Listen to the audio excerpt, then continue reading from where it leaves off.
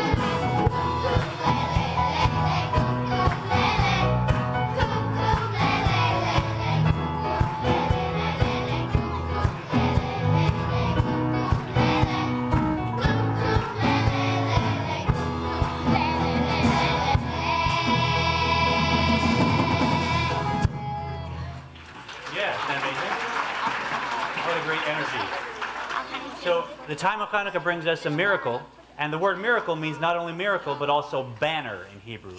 Banner. So isn't it amazing that something like this brings us together in time, brings us together in space like a banner? All of us enjoying, appreciating this light now and for all of Jewish history. Al Hanisim.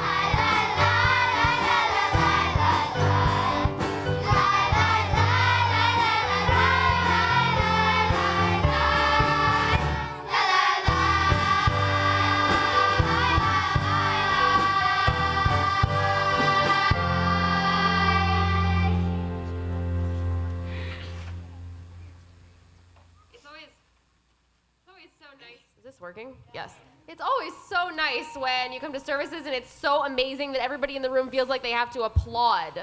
Let's get it all out. Let's give them a big, you guys sound amazing! Our children are filling this sanctuary with light this evening, and it is my pleasure to invite Kara Lawson up to help fill it with even more light as we turn to page 14 for our candle lighting.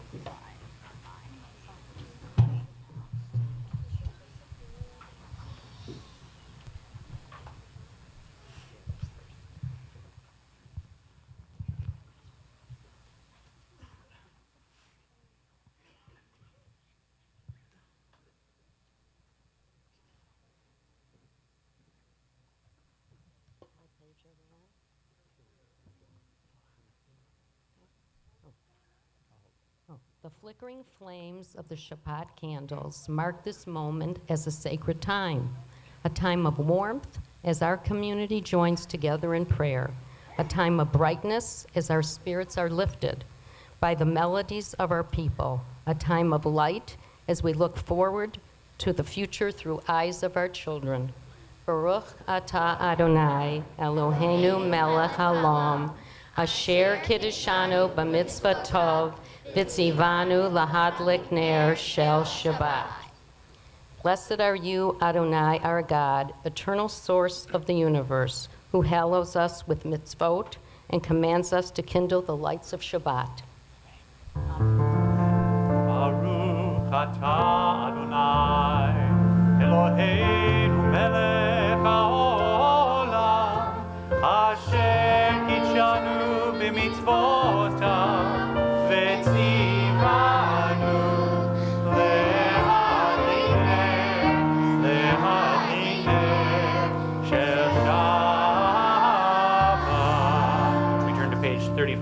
Melody.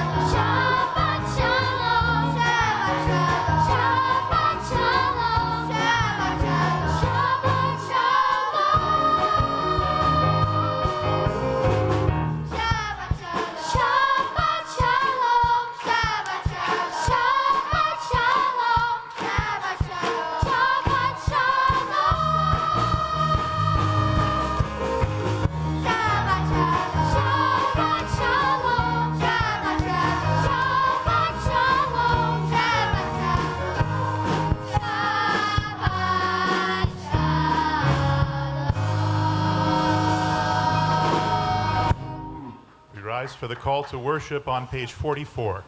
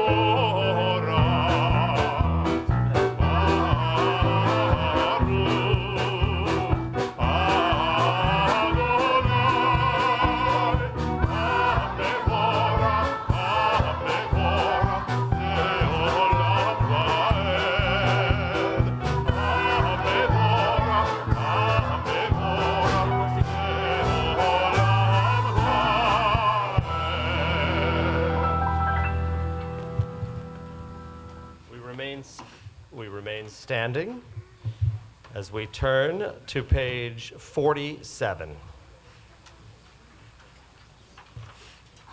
The top of the page we join together. Light changes each day, making the order of God's universe. From light to dark and back to light again. The shift is gradual and beautiful.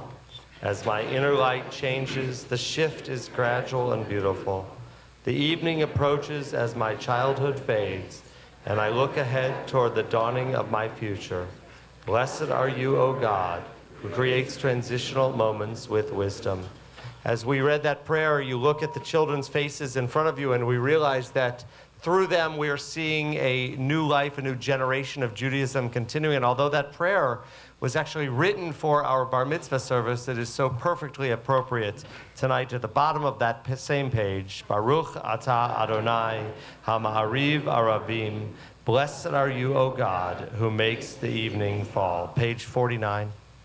We are loved by an unending love. We embrace.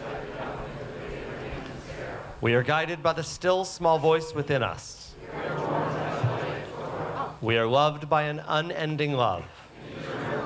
A ner tamid to be tended from generation to generation. And a gentle love. Giving meaning to our existence, structure to our lives. And of all the generations who have embraced their covenant.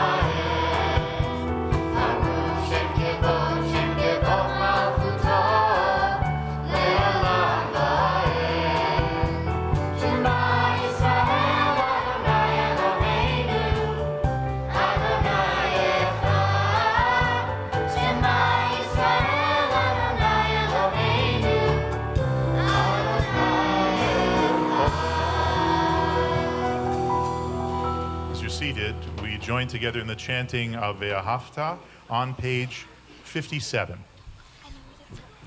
ואהבת את אדוני אלוהיך בכל לבביך ובכל נפשך ובכל מאודיך והיו הדברים האלה אשר אנוכי מצווך היום על לבביך ושיננתם לבניך ודיברת בם בשבתך בביתך ובלכתך בדרך ובשוכבך ובקומך וקשרתם לאות על ידיך והיו לטוטפות עיניך וכתבתם על מזוזות ביתך ובשעריך למען תזכרו ועשיתם את כל מצוותיי והייתם קדושים לאלוהיכם. אני אדוני אלוהיכם אשר הוצאתי אתכם מארץ מצרים, להיות לכם לאלוהים. אני אדוני, אלוהיכם אמת.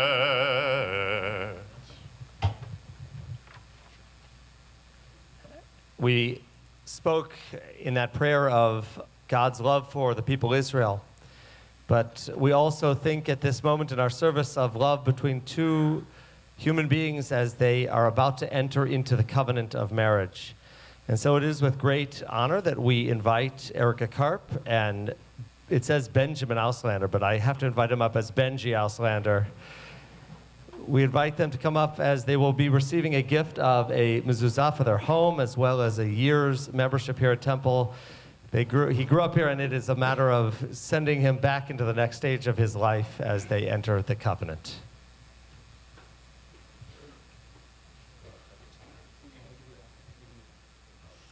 Erica and Benji, as you stand here in front of this loving congregation, we celebrate with you. We celebrate with you, and as you look at the little children who are here today, I'm going to turn you like this because your family's over there. Let's do this in a better direction. Sorry, people over there, but mom, dad, grandma, I mean, the, we have to let those who see them love them. Uh, know that we see the little children, we see, for your family, they see in this adult standing in front of them the child who's grown up. And yet it's filled with so many memories. And for all of us, so many memories of you growing up into an outstanding and amazing individuals and wonderful, loving couple. And so at this moment, it is our joy to bless you. We bless you with the prayer that God will sanctify the home that you are about to create, and that you'll always know how fortunate you are to be blessed with love that comes from the heart of someone who holds you so close and so dear. We pray that the chuppah that you will stand under in a few days will be filled with the love of family, but reflected in the love of Torah that stands in front of us as we stand in front of this beautiful ark.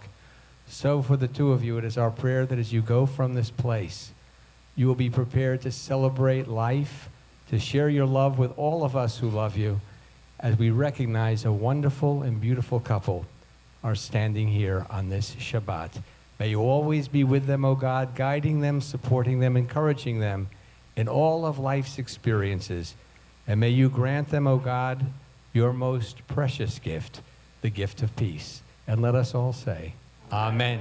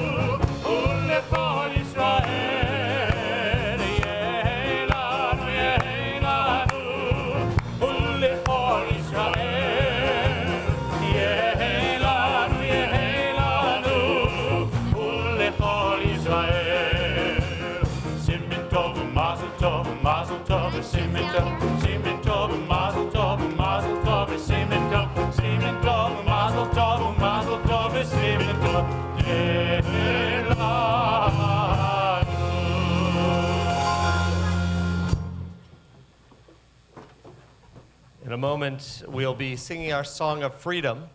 But for now, we turn on page 60 and join responsively in prayer. We celebrate our miracles, the water parting, wall tumbling, sun standing still, miracles of our ancestors.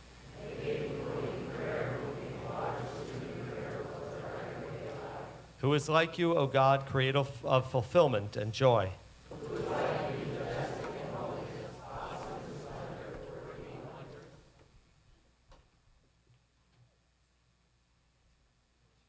Ness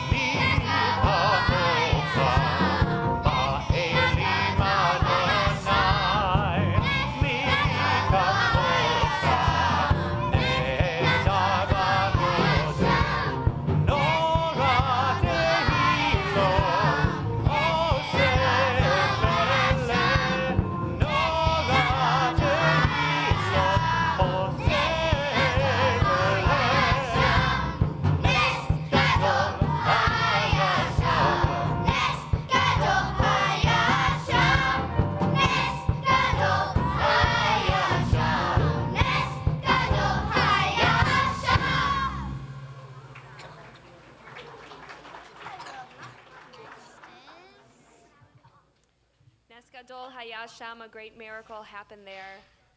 And we pray that a great miracle happens here, happens in Israel, happens in Europe, happens throughout the world, and that somehow we live in a world of peace. Somehow it shouldn't be a miracle that we should live in peace, but it kind of feels that way right now. So let's pray for peace together on page 64. Cause us, our Creator, to lie down in peace and raise us up, O sovereign God, to renewed life and peace. Spread over us the shelter of your peace. Guide us with your good counsel, and be our shield of mercy and of peace.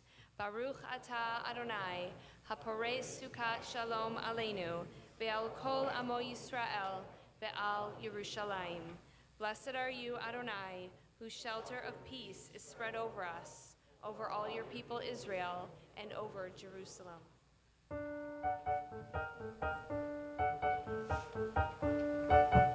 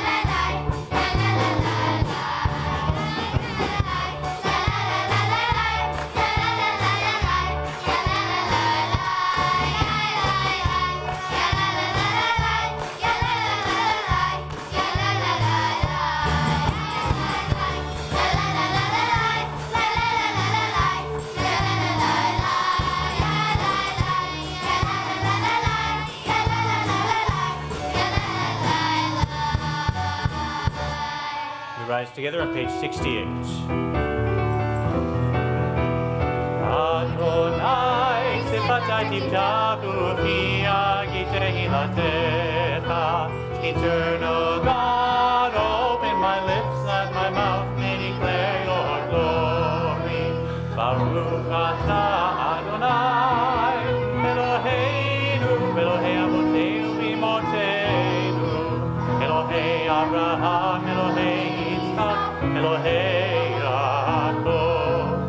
Elohei Sarah, Elohei Rivka, Elohei Leah, Elohei Rachel.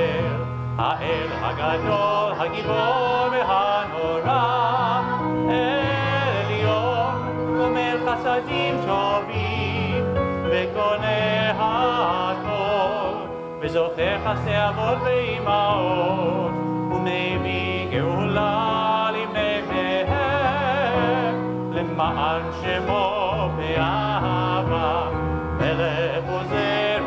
am again. Baruch atah Adonai, Magen Abraham, We read together on, we read together on page 69. Prayer invites us to let God's presence suffuse our spirits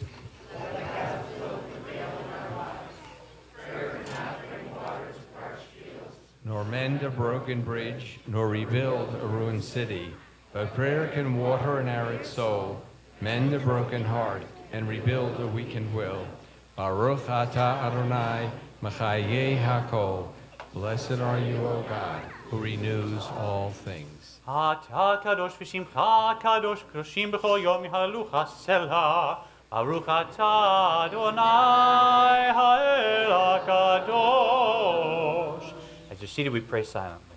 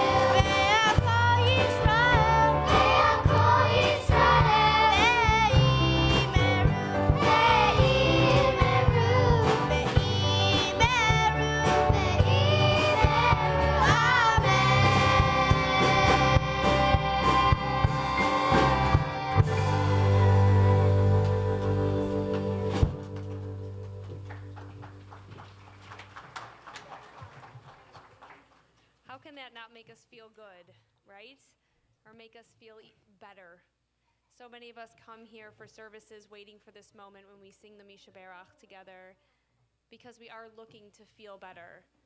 We either need uplifting spiritually or we need a healing physically. And I would say that sadly, once again this week, we have a feeling of a heaviness of heart because of what has happened in our country. And so much of what I've read this week, I don't know about you, has said that it's become a not if, but a when. And I think that as we sing the Mi Shebeirach tonight, as we sing for healing, we need to pray for the healing not only of our, our bodies and our souls, but we need to pray for a healing of our community, of our country, because we should never have to live in a place where it's not an if, but a when. And so as we sing the Mi Shebeirach tonight, let's keep all of those people in our own lives in mind, as well as in our larger community and in our country who's so desperately in need of healing. We sing the Mi Shebeirach on page 83.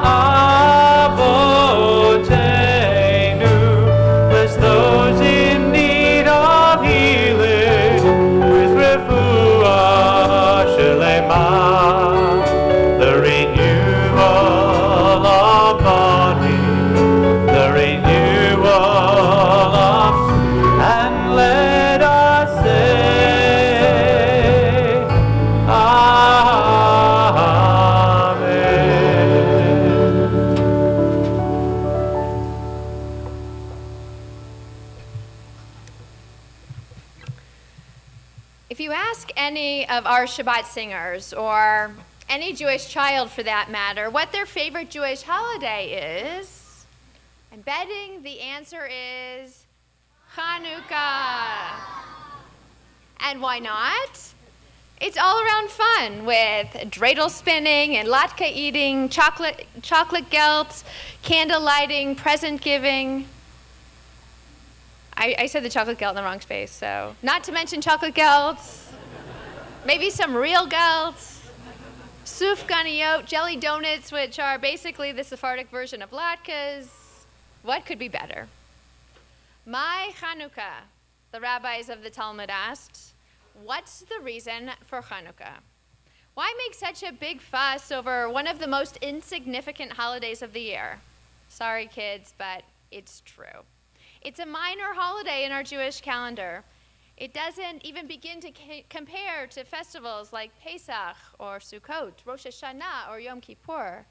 So, mai Chanukah, what's the deal with Chanukah?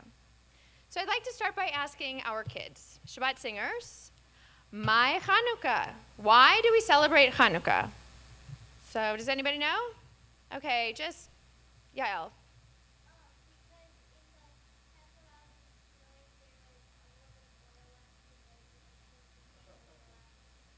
I love it. In the temple that was defiled, destroyed, there was only a little bit of oil left, and miraculously, that little bit of oil lasted for eight days. Excellent. Any other ideas of why we celebrate Hanukkah? Mai Hanukkah. Benji. I know his name.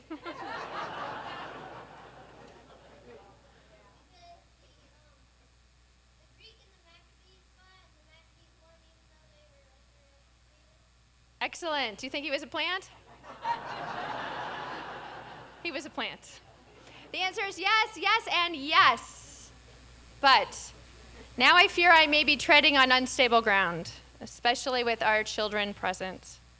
We were discussing this very theme in my Rosh Chodesh group at the beginning of the month, and I felt I had burst the Hanukkah bubble for my participants, none of whom were children, by the way. But I'd be remiss as a rabbi if I didn't ask what if Hanukkah isn't really Hanukkah after all? What, you ask? Is she crazy? Is she off her rocker? Is she still suffering from too much turkey on Thanksgiving? Hanukkah, not Hanukkah? What does that mean?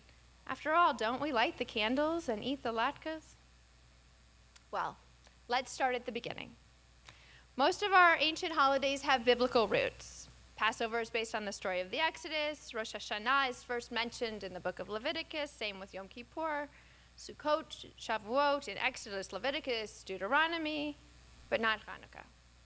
This holiday was a later invention, taking place around 165 BCE.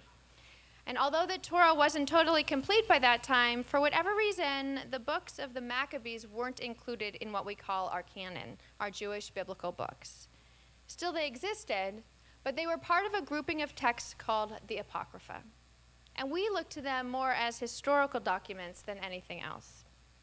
But taken in tandem with our traditional blessings for the holiday, the Talmud, and later commentaries, we get a few variations on the Hanukkah story. So, yes, it's a story of the Hasmonean defeat of the Syro Greeks who prohibited the Jews from practicing Judaism. And while it is far, far more complicated, in short, they weren't allowed to celebrate Shabbat, to circumcise their sons, to speak Hebrew. Basically, they weren't allowed to do anything Jewish.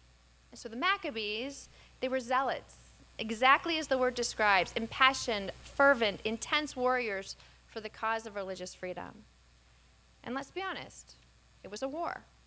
A war, therefore, makes Hanukkah a celebration of a military victory. This small little band of Jews led by Judah Maccabee, prevailing over the enormous Greek Empire.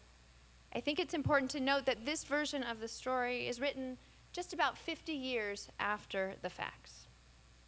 And as part of the story, please don't forget that while the word Hanukkah means dedication, this festival, while it's a part of a, it's, it's about a military victory, it's also about the rededication of the temple in Jerusalem, which had been defiled by the Greeks. And one little tidbit I recently learned was that the ceremony for this dedication was modeled on a similar ceremony when they dedicated the tabernacle in the wilderness, a ceremony that lasted eight days. Eight days, that's very interesting. But before we become too comfortable with this interpretation, there's another text from Book of Maccabees written maybe a hundred years after the fact, also teaching about rededication of the temple. And I've edited it very slightly to take out the elements that will reveal our surprise. And this is what it says. On the 25th day of the month of Kislev, the purification of the temple took place. The Jews celebrated joyfully for eight days, carrying rods entwined with leaves, beautiful branches, and palms. They sang, sang hymns of grateful praise to God who had successfully brought about the purification of God's own place. By public decree and vote, they prescribed that the whole Jewish nation should celebrate these days every year. It sounds sort of familiar, doesn't it? Eight days, carrying rods entwined with leaves, beautiful branches, and palms, hymns of praise. Of course, it sounds familiar. It's Sukkot. The rods woven with the leaves are the lulav, the hymns of praise, the hallel. And the part I edited out, they celebrated joyfully for eight days, as on the feasts of booths, which of course is Sukkot. So remember, months before, during the month of Tishrei, when they would have celebrated Sukkot, the Jews hadn't been able to enter the temple because it had been under the control of the Greeks, not to mention the fact that it had been completely defiled. And since Sukkot was such an important holiday in the Jewish calendar, the very first thing they did when they were able to go back into the temple was to celebrate this festival. A makeup celebration for not having been able to celebrate it at its time. Or maybe we might call it a do over. So the secret's out. Hanukkah isn't really Hanukkah. Hanukkah is Sukkot. But wait, wait, wait. What about Hanukkah as we know it? What about the oil, the latkes, the dreidels? Well, it turns out the miracle of the oil isn't mentioned in any of these texts, but it does come about much later, maybe 500 years after the events of the story. Mai Hanukkah, the rabbis ask in the Talmud? Because on the 25th day of the month of Kislev, the days of Hanukkah begin. For when the Greeks entered the sanctuary of our temple, they defiled all the oil. And when the Hasmoneans overpowered them and were victorious, they searched, but they could find only one teeny tiny cruse of oil. It says that in the Talmud, teeny tiny, sufficient for only one day. But a miracle occurred, and they were able to light it for eight days. And this is how it starts. Our rabbis weren't content with the story of a war for the foundation of a joyful festival, even with the theme of rededication. And let's admit that even that gets a little bit boring after a few hundred years. But the oil, that's got panache. It's inspiring and hopeful and joyful and meaningful. It reminds us of God's presence in our lives. And all of these stories together remind us that we can overcome adversity and tragedy no matter how hard it is. The candles of the Chanukiah provide light in the darkest of days. And this is absolutely relevant in our own lives today. Have you noticed how dark these winter days are? By about 5:30, 5:45, it's absolutely pitch black outside. But just one candle can brighten the entire room. And it's not just about the darkness of winter. It's about the darkness of our lives. And this week in particular, the news is overwhelming. A Planned Parenthood clinic, San Bernardino, an ongoing refugee crisis. The list goes on and on. Talk about the darkest days. None of us, no matter our politics, can be satisfied with things as they are. We have to figure out a way to fix them. And so, Hanukkah, this minor little holiday in our calendar, provides us with an incredible theme, and that's rededication. Rededicating ourselves as we did our temple to fixing this world that we live in. Rededicating ourselves to our values, our ideals, our dreams, our causes. And what of the miracle? It's exactly that a miracle, reminding us of overcoming odds, the power of the weak over the strong, days of celebration and joy where mourning is forbidden and everyone is feasting. We light candles to commemorate those days, and we recognize that the light of the candle is a miracle unto itself, especially as we understand it as a spark of divinity within. Earlier today, a colleague taught me these words from Rav Kook. Every person must know and understand that a candle burns deep within, and his candle is unlike, unlike his friends, and no one without a candle exists. Everyone must know and understand that he must strive to uncover the light of the candle publicly and to light it into a great torch and light the whole world. And so, as I look forward to the lights of the Chanukiah that we will light this next week, it brings me hope and inspiration. Hope that we can fix this world, and inspiration as I look to our children.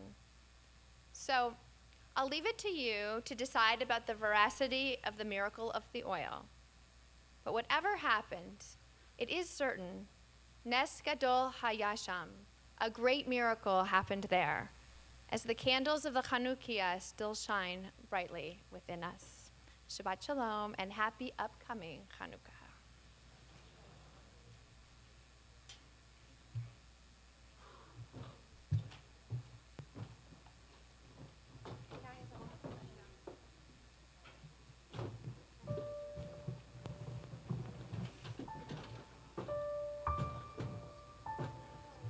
As the uh, Shabbat singers coming up, let me take a moment to thank Emma Trevex for all the work she does with them, and thank all of you for all the driving and all the waiting. I hope that it, uh, thank you, Emma, and I hope it was worth it for you to enjoy uh, their beautiful voices and their beautiful smiles. Let's have a little more Hanukkah celebration.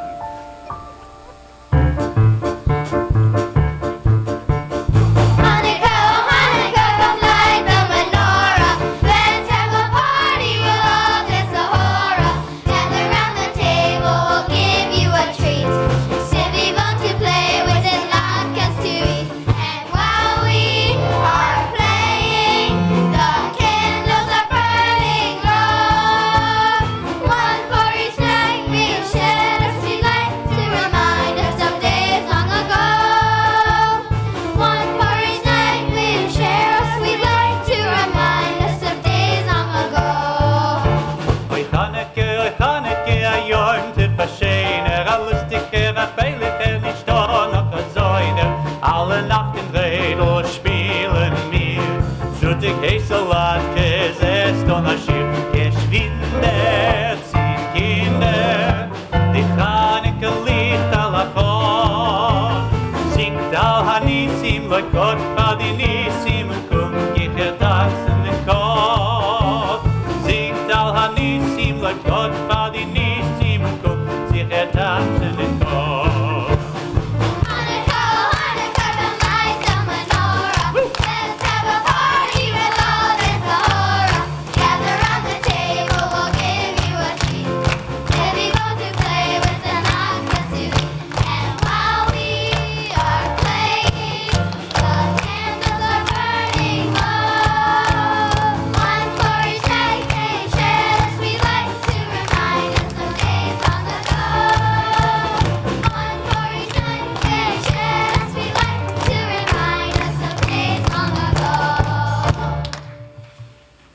Rabbi spoke so beautifully about candles, and a candle always begins with a match, right? Every Chanukiah begins with a match. And the most amazing thing happened with our family. We had a friend over, told us about this science experiment. We take a hard-boiled egg peeled and put it on top of a bottle, but you put a match in the bottle and put the egg on, and somehow with the vacuum, it sucks the egg into the neck of the bottle. Has anyone tried this? Anyone? So we couldn't resist. We took a big match, we lit it, we took our, a big bottle of wine, stuck it in, and put the egg on top, and it started getting sucked in, getting sucked in. But then it made a strange sound, and the egg started changing shape. And then the crazy thing, craziest thing happened. The yolk got sucked right out of the egg like this, and shot out with a really, really sort of impolite sound. and the kids just fell on the floor laughing. It was amazing. But it taught our family that when you light a match, the most unexpected things can happen.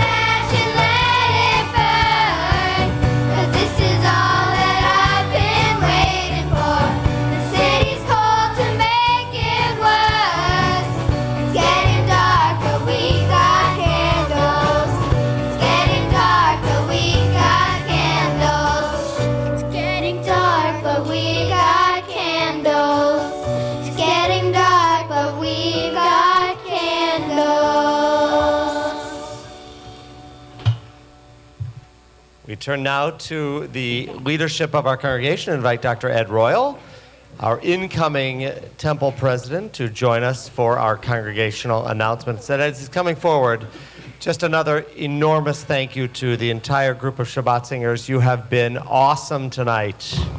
Whoa! Nice catch. Did you see that catch? That was awesome.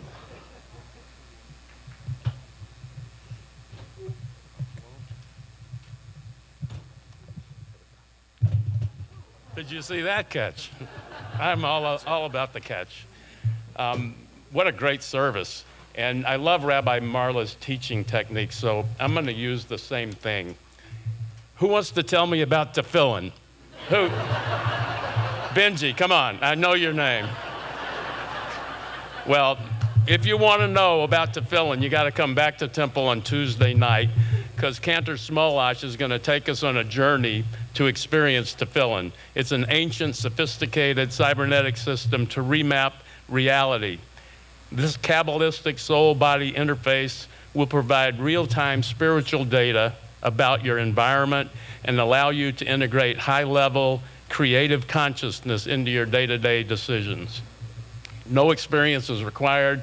We have sets of tefillin for you to use. Come and get wrapped up in the experience.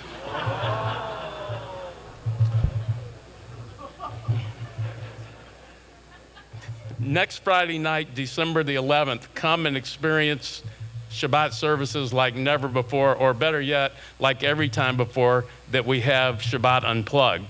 Come and experience the joyful, prayerful, song filled, rockin' jumping, moving, groovin', spiritually soothing Shabbat worship experience for everyone. So we hope that you'll all join us next week and make it just as crowded and excited and fulfilling as tonight. For further information for any of these programs to participate, you can check the information table as you leave or call the temple office during regular business hours. And please don't forget to enjoy our wonderful oneg after services and meet us all for Shabbat greetings. On behalf of the members of the Board of Trustees, let me wish y'all Shabbat Shalom.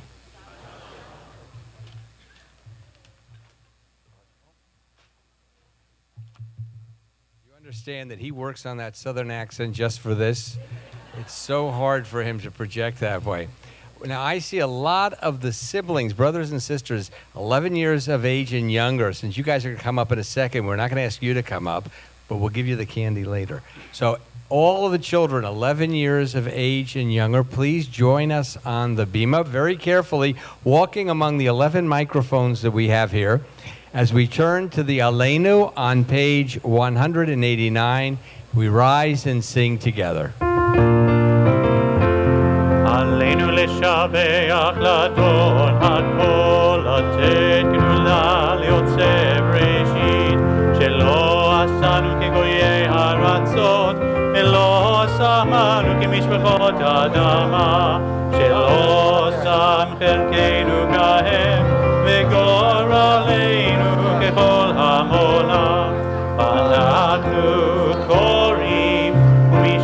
la vida.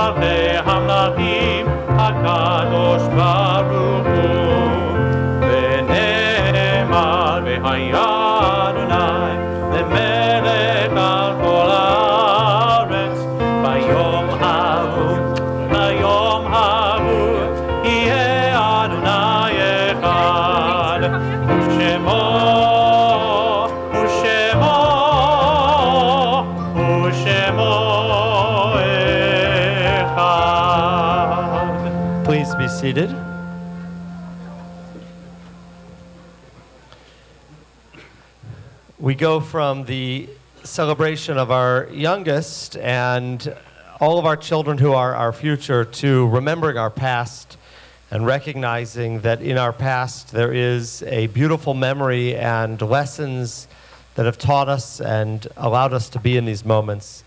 And so, as we mention these names, we think not only of those who have died in this week, but those who have died in years past who continue to bless us with memory.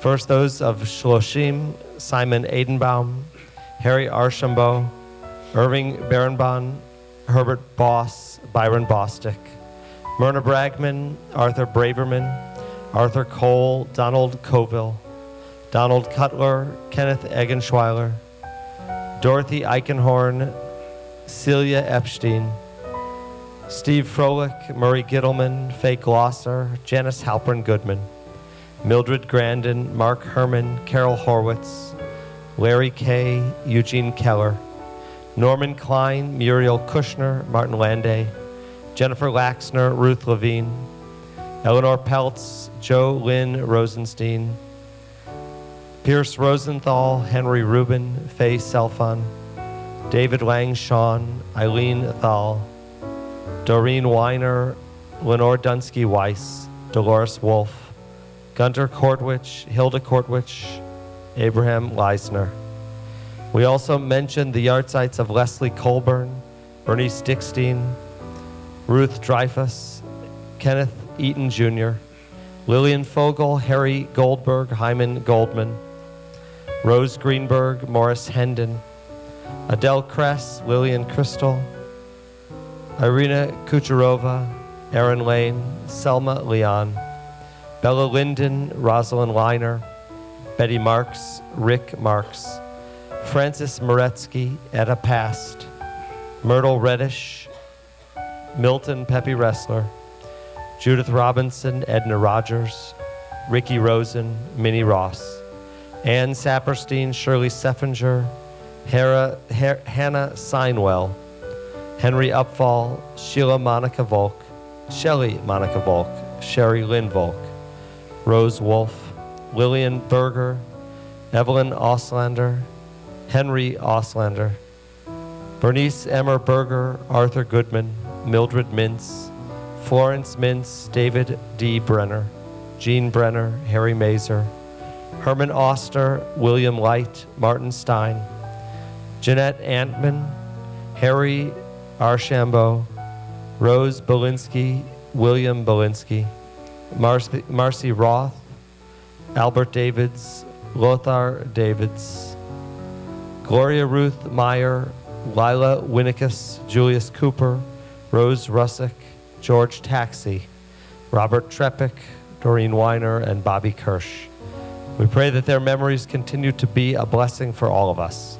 As we turn in our prayer books to page 199, we rise for the words of Kaddish.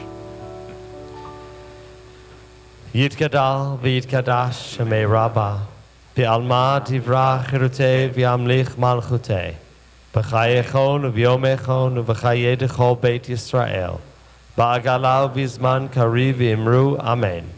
יהי שמי רבא מברך לעולם ליומי עלמיה, יתברך וישתבח ויתפאר ויתרומם ויתנשא, ויתהדר ויתעלה ויתהלל שמי דקודשה בריחו. Le'elamin kol birchata v'shirata, tushbechata v'nechamata, damiran bi'alma v'imru amen. Yehi shlama rabba min shemaya, v'chayim aleinu v'al kol Yisrael v'imru amen. Oseh shalom bimromav, hu ya'aseh shalom, aleinu v'al kol Yisrael v'imru amen. May God send peace to those who mourn and comfort to all of us as we say together, Amen. And we conclude our service on page one, and let's also thank, of course, each one of the uh, Shabbat singers for their beautiful, beautiful work today. And uh, perhaps they make it a little easier to reflect on the lives of the names we've heard as we feel the life and the joy in this room today. So we affirm together, Am Yisrael Chai, the people of Israel live.